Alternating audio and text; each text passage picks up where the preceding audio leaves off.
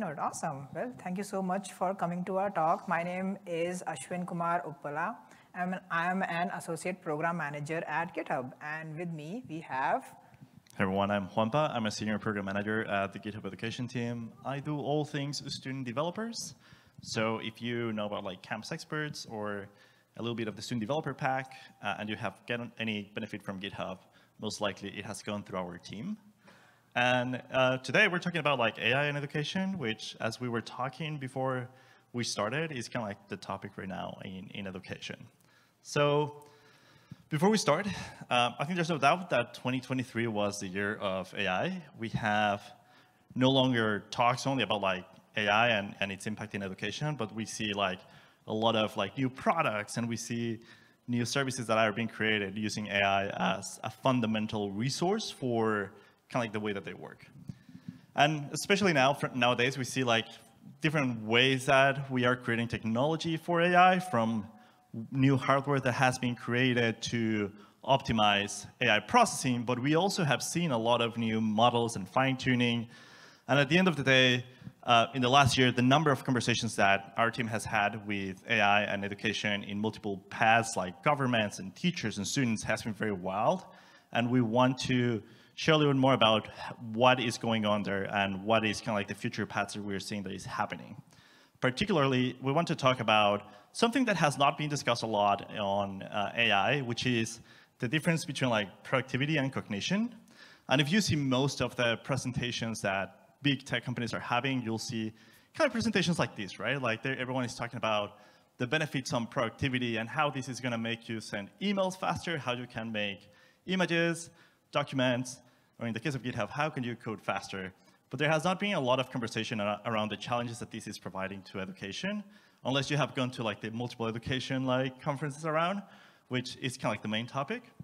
But there's also another part, part here that is important to consider, which is that if you follow the PISA scores, uh, we had one PISA score in 2018, and now in 2022, this essentially uh, measures like students um, different skills for students uh, in multiple topics. And if you compare 2018 to 2022, uh, it turns out that a lot of those scores have gone very, very low lately, meaning things like reading, math, and science were some of the most impacted scores on PISA. And there's multiple factors because of that, like that, that caused this, one of them being the pandemic, uh, which some of you might remember. Um, hopefully not, it's, it's not old yet, but on the other side, there's also kind of like the way that we reacted to the pandemic and this rapid change into online learning and how we moved everything from in-person learning into online. So the GitHub Education team decided to make a little bit of a, we, we wanted to bridge this gap that we were finding, and we asked three questions. The first one is, what's the impact that AI is having on developers and how they learn new skills? Wanted to learn what are some of the changes in dynamics in the classroom that are happening and how these interactions are happening. And the third one is how can you use AI to learn how to code? Uh, it's worth mentioning that research, though like AI and education research has been around for a very, very long time. We have dozens of papers around it. And specifically when we talk about AI and Gen AI in education, it's extremely new. Um, conference this year, I kind of like starting to post like more research and more results about best practices or the impact that AI is having on education. So we're still in a very early stage. If you study AI and education, you have a lot of work to go to, to, to, to do there. Well, a quick show of hands. Um, how many of you in this room have used some form of AI-assisted tool on your daily lives, at work, anywhere? Copilot, ChatGPT, almost everyone, even I have one. Thank you. Awesome. Have you ever felt like, oh, this is really solving my problem. I don't have to Google or Stack Overflow anymore. Sometimes you might have felt it's hallucinating, the problem is too complex, maybe it's not giving me the answer like that. Or sometimes you might have felt you have asked a very specific question, it gave you a solution, it works, but I have no idea how it works, right? Now, since 2023, our opinions of AI has been like that. It's like the new kid in the block. When OpenAI publicly released ChatGPT, it led to a snowball effect of LLMs trying to be more accurate, and with that came some concerns. Well, our concerns was, hey, it's not super accurate, it's hallucinating, it's not being as realistic as we want, or I don't know if this email was written by a human or summarized by an AI. But there was a chronic concern among a bunch of professionals. Those professionals were educators and tutors. You see, there are guardrails and guidelines to AI when this was released, but there were no guidelines to how the learning model will be used if AI is used as a learning tool or how it impacts the learning curve of an individual. Now, since there are so many possibilities of how we can use AI as a learning tool, for now, I want to condense it into three specific parts and an analogy that we all can understand. Sports. Well, open source is another analogy all of us in the room can understand, but sports is equally exciting. Uh, now, in sports, for a player to perform really well, there are three ways to do so. Steroids, sneakers, or a coach. Now, before I move to the next slide, most of you nodded and understood that what is a healthy option, which one is more harmful, which one might have immediate effects. A similar spectrum of how AI can be looked at at a sports analogy is steroid sneaker and the coach model that we are explaining right now. Now, steroid, as the name says, gives you temporary immediate boost, but can have long detrimental effects. Sometimes it can even do more damage than your initial state was, right? A good example of that is being over-reliant to AI tool for your work.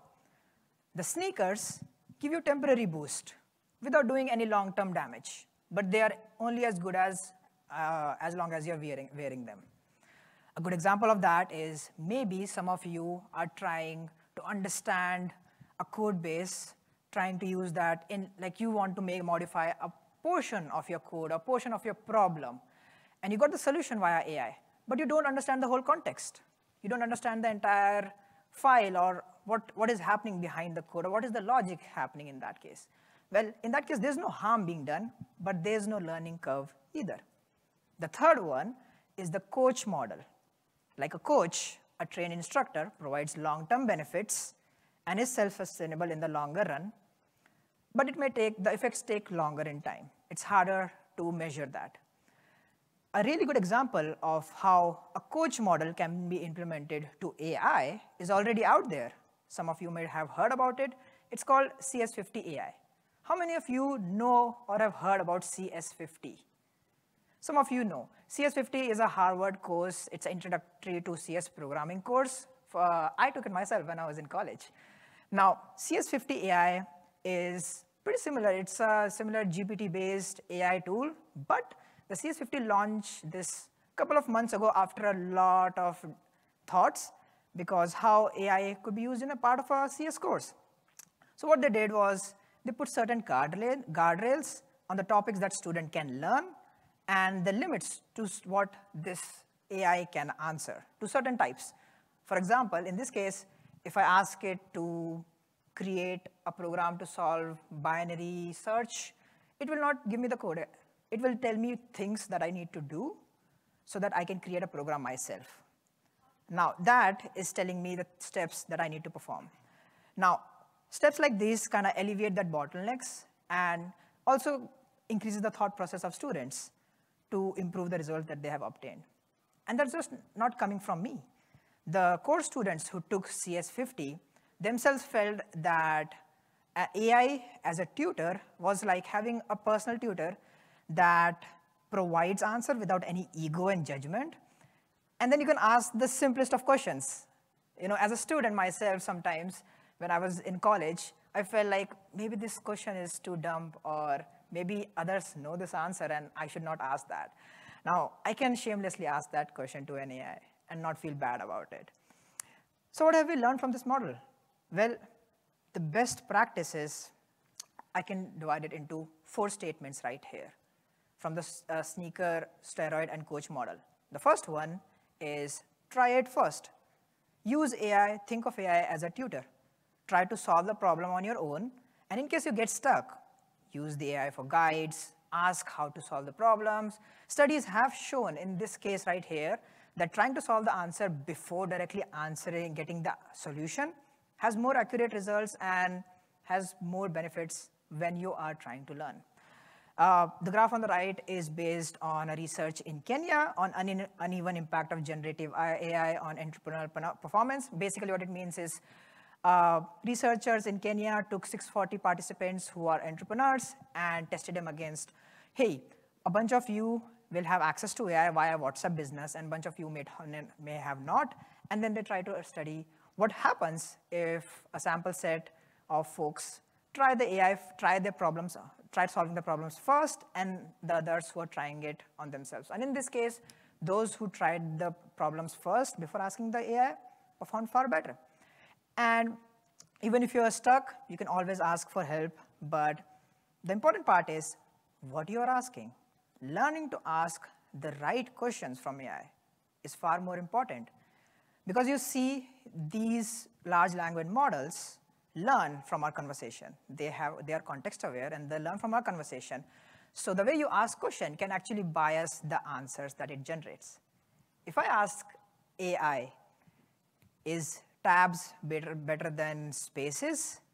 It might give me an answer thinking that I want to know that tabs are better than spaces. But if I ask Juan, that the reason is like, hey, I want to understand which one can I use for which scenario, right? So learning to ask the right question is super important. Uh, and the last thing, and super, and super important and equally important is, well, the dependency on the tool. Try not to get over-relied on it. Uh, multiple studies have shown that uh, participants who have relied too much, uh, oh, a part of the graph is chopped off in this case, but the, the one on the left is if you're using LLMs with simple tasks, it's the graph goes up. So it's easy to perform simple tasks on LLM. But the chopped off part says if the, the problem gets more complex, people who are sticking to traditional problem solving methods like you know, going to Google and then Stack Overflow and debugging on your own and then discussions have performed far better than directly relying on these tools. Uh, four best practices, try it yourself, ask for help if you are stuck, ask the right questions, and don't rely or don't depend on the tool. Now, it's easy to implement as an individual, right? It's very easy for me to come to you and say, yeah, here are the four, four magical pieces and go use it. How do you scale this? That is where classroom comes in. How does this look like in the classroom, Juan? Cool. So let's start with um, how does this look in the classroom. So I know we have a few educators here, and I hope that this is a little bit relatable to you. Um, but in essence, the way that we currently teach is following the SAGE model. The SAGE model has been the same for probably like before the Greeks. And in essence is you have a group of people that are going through the same content at the same time, at the same pace. And this has worked really well for the past like few years. But what happens if you have students that are neurodivergent? What happens if you have students that are I'm sorry, uh, we, we skipped too fast. Okay, what, what happens if you have students that are neurodivergent divergent or people that learn at different speeds? It's a little bit hard, and I, I don't know if you folks, especially students, have felt that where there's some classes that you're really good at, and sometimes the class goes really slow, and you get bored, you get distracted.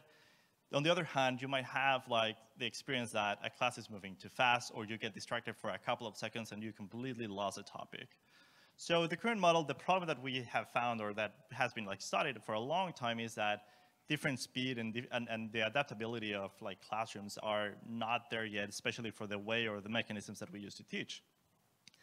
This is also a problem for teachers because the, the way that most, uh, like, let's say like paid institutions or education system work is, we know you're gonna lose some students, so in order to make sure that we have like an, a specific number of students graduating every year, we give you a, better a bigger classroom, and that's a lot of extra work for the teacher because now they have to solve the same problem for even a bigger classroom and a bigger number of students.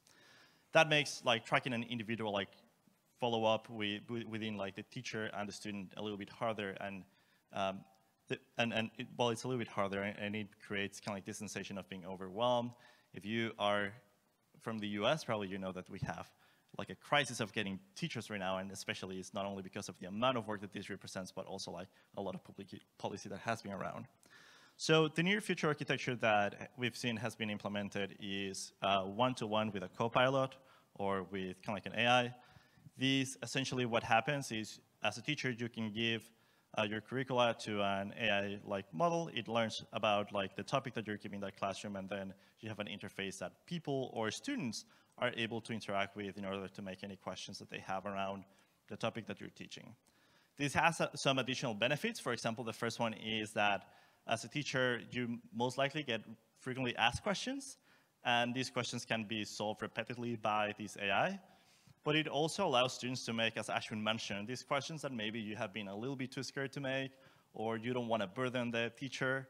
So it has provided a, a, great outcome or a great path for folks to make questions that they wouldn't be able to make otherwise. In fact, research has shown that students make 30% more questions by using these, uh, this model.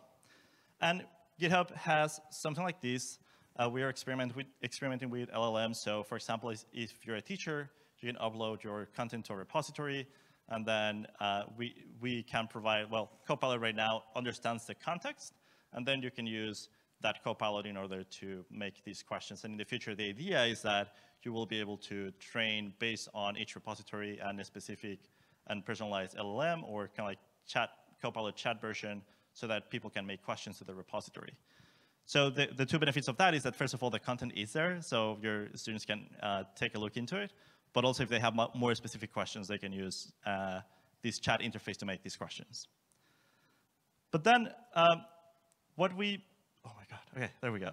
What, what we have been looking into is intelligent tutoring systems. This is kind of like what a lot of people have been talking about recently.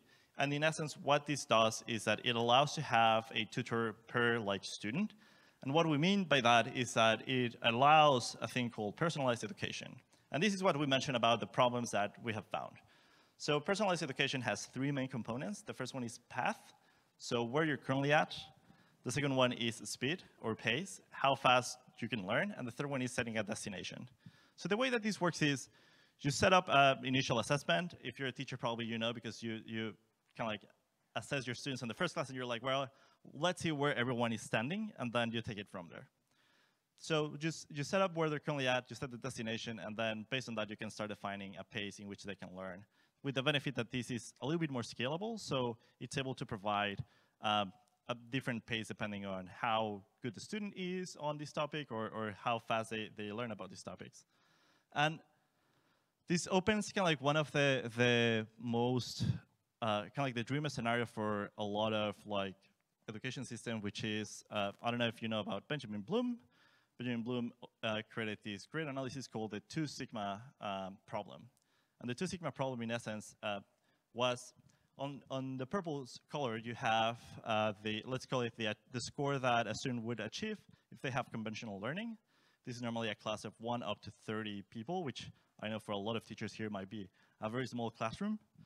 And on the yellow side, you have uh, tutoring, one, like tutoring in, in a one-on-one -on -one basis, which I mean, it's great if you see like the, the majority of the students that are, were part of the tutoring 101 got considerable, considerably better results than those that were in conventional learning.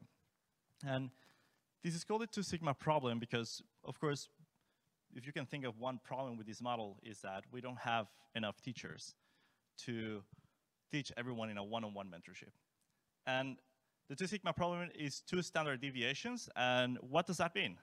So if you took uh, statistics or pro probability classes, that means that a student happens, like moves from the 50 percentile, so you learn, let's say like 50% or you're in the middle, you move to the 98 percentile, which means you become an expert in the topic that is being discussed in the classroom.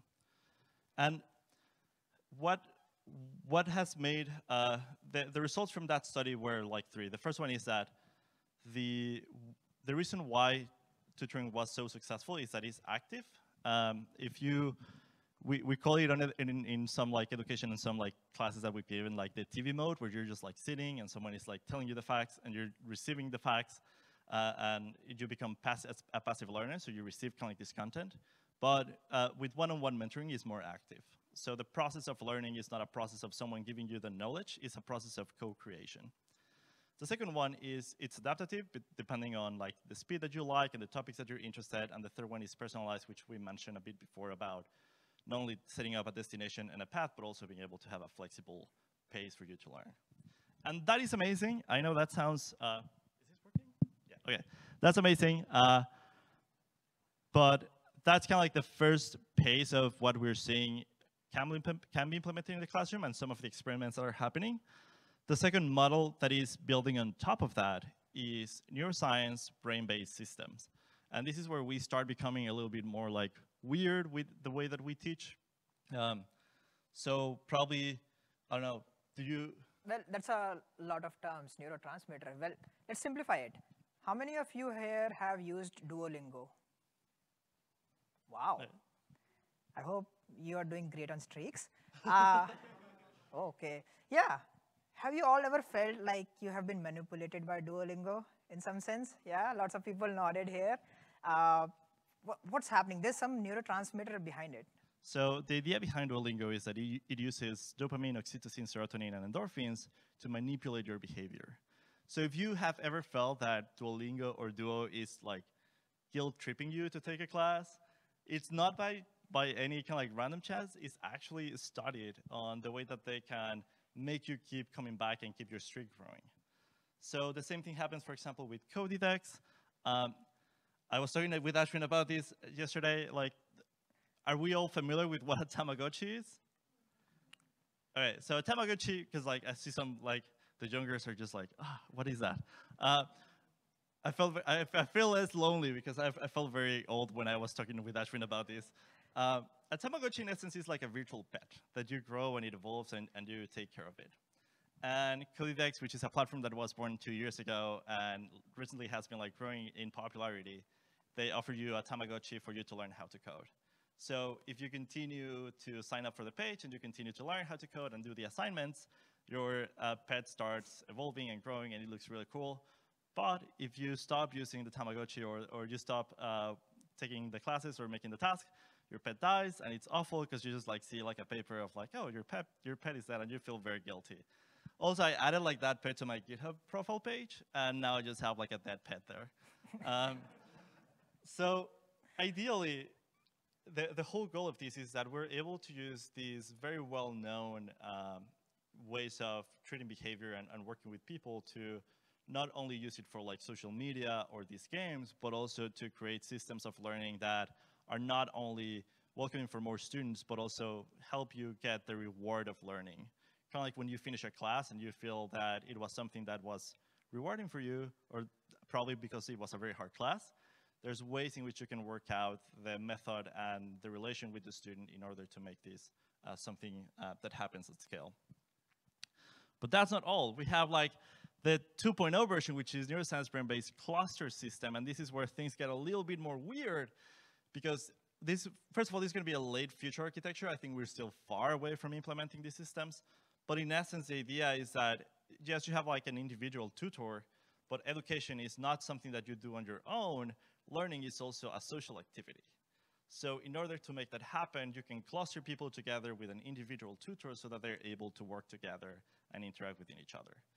So this is still kind of like very experimental, but the idea here is that teachers not only are kind of like teaching, but they become kind of like an organization where they coordinate these tutors and they see where these different groups are standing. Now, that's a late future architecture.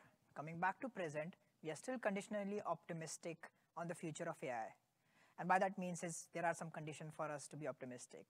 Uh, for example, government has its own policies in place. The Europe has its own AI Data Act, which is human, which has a more approach towards human rights and how data is handled for citizens of Europe. Uh, United States data collection policy has a own different essence of how data is collected, especially if minors are involved or students are involved. And then China has a different implementation of AI, which allows it to grow at a different scale. Uh, by that we mean is something as an individual you need to do is question yourself and ask, who am I comfortable sharing my data going forward? Because AI is going to be staying for a long time here as part of your learning curves too. Are you comfortable sharing your data with the government? Or startup enterprises. Kind of like the trolley problem here. But even as a parent, if you have children who goes to school, you want to question that, like, are you comfortable sharing your child's data if that improves these learning models in the coming future? Because that's an important open-ended question you have to keep in mind going forward. Because this also affects the propaganda. These AI models right now are seen as black boxes because they are very easy to utilize and then they can affect the critical thoughts of students. And the places where these AI models are used, there are more chances that these classes, these certain classes, can propagate at scale.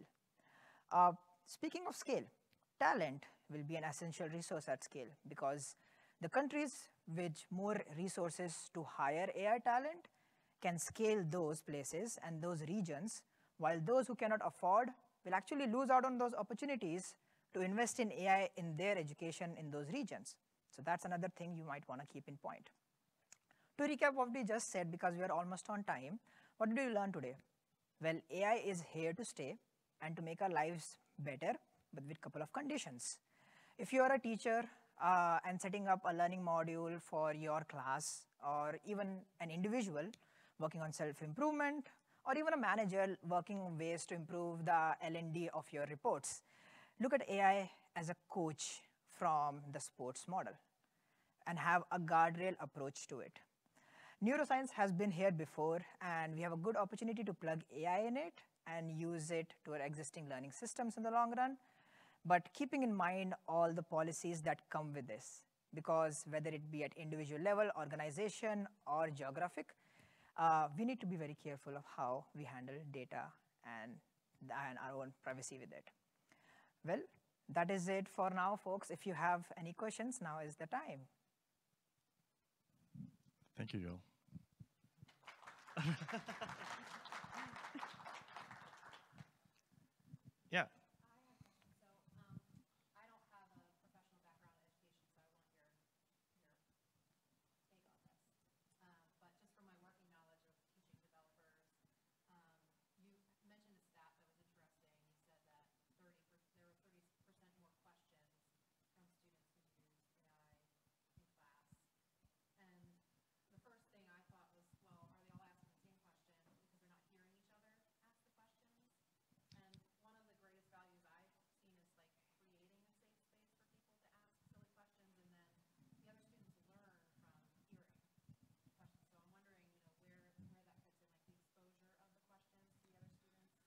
That is a great question. Uh, I think one of the important things to consider here is that even with like all of the things we've seen and mentions of AI and developers and like there's going to be AI engineers and all of that, the reality is that in education we're going to still need teachers and those spaces. I believe that there's a combination of like a lot of the questions that students were making were on an individual base, so they don't get to share that with like the rest of their class. But the other thing that to consider there is that they had a limit on the number of questions they were able to make.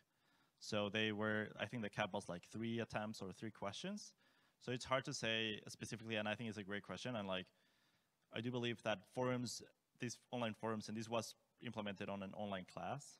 So these online forums help to kind of like voting on like what is the common question and all of that. So I'm not super, I'm not super clear if it was based on like, hey, everyone having the same question or multiple different questions. So I'm, I'm not super certain about that, but it's a great question to think about. Of a lot of the reasons why people don't repeat the questions is because other people have made the question already. Uh, for the record, I'll just repeat the question uh, because it's recorded here. Uh, the question was somewhere around uh, using AI improved the way students ask question or improve the efficiency around it, but on more discussion more around like what kind of questions we are talking here. Is that right? Was about the number, the quantity of questions. Like if it's repeated because they're making questions individually, or or it's more because they make like different questions. Awesome.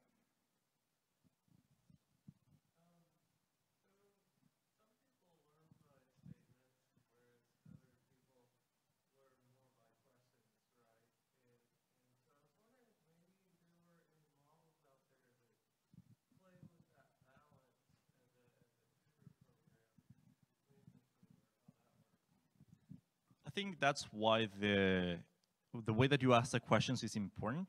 Because like if you use, for example, GitHub Copilot right now, you're able to have like both. Like one that you ask a question and it can like responds, And it's also kind of like a, hey, this is, you can ask like, hey, give me a pathway to learn how to code Python. And it will give you like a, a template on like what you can, you can add there or what's the, the best path to learn, to learn Python. So right now I don't think there's like any super specific, but essentially I've seen both use cases on like students or from like students. Yeah, so the question is, some students learn via statements and some via questions and whether we can find a balance between them. Uh, I think we can, and something that I also talked is like asking the right questions can also be translated into asking the right statements to the AI and how, how the AI is designed. So CS50 AI is a really good example. Yesterday, I was asking it about bubble sort. It gave me ways to like, hey, these are the way how you can create a bubble sort program. But I, when I asked it an out of scope question like, tell me how to deploy a Kubernetes cluster, it's like, nope, that's something out of the scope, and we are not going to do that. And because of that guardrails, it kind of helps me uh, keep my focus on what I really want to learn here and not just find my way out into something else. Thank you. Yeah.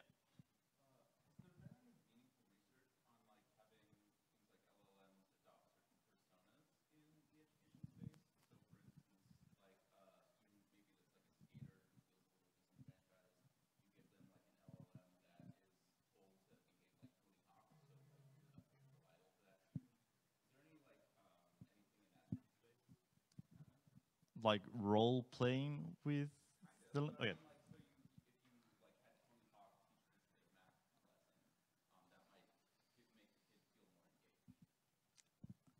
So right now, I don't, can't come up with a paper right now that I've read, but I know a couple of teams that are doing. So the question is if giving like an AI, an, an LLM like a personality or kind of like some sort of role in in, in the learning uh, process helps them learn better than if it was just like whatever AI. Uh, I don't have a paper right now that comes to mind. Uh, I know a lot of, there's like a couple of companies that are doing AI education and gaming. Uh, so again, like from, from what we mentioned in the beginning, is like there's still a lot of like papers are coming up or coming out. Uh, so I would keep an eye on them. But as far as I'm aware of, I haven't seen any any right now. I think a point part of it also comes down like what's the personalization of an individual, what's the right level of personalization you want for them to understand and interact with the AI. And when you're talking about personalization or one-on-one tutoring with AI, the concern of data also comes in. So whether you're comfortable of how much data you're willing to share so that it can, the AI can be more personalized with you, because that's when the geopolitical restriction comes in of how much United States allow and what we see in other countries might be more flexible. Uh, there's a research based on China where the tutoring system is slightly different because the, the data policies are different and they have a different level of personalization to one-on-one tutoring before uh, in terms of how AI coaching is looked at. So yeah, thank you. Do we have any more questions? One last question. Yeah.